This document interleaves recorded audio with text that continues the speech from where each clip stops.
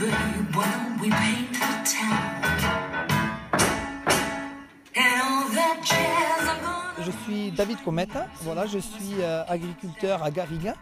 Euh, donc on a une exploitation de polyculture élevage euh, avec un atelier de diversification de boucherie, charcuterie à la ferme. Et maintenant, donc depuis un an, on a été référencé premier cabaret à la ferme de France pour continuer la diversification au niveau des produits de notre terroir.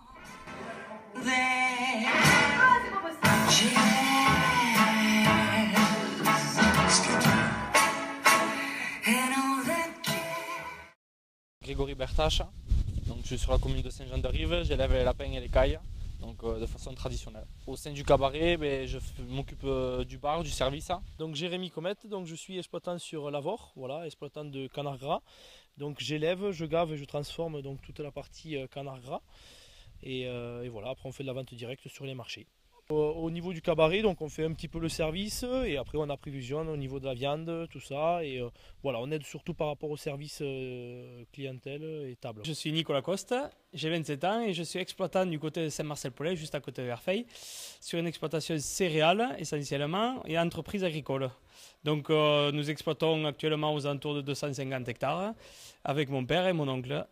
Euh, et en petite activité d'appoint, je fais euh, une petite activité de, maraîchage, j'ai démarré. Alors au sein du cabaret, euh, je m'occupe de toute la sonorisation et éclairage et mise en scène au niveau des lumières. Et après, je m'occupe de toute la partie animation de seconde partie de soirée.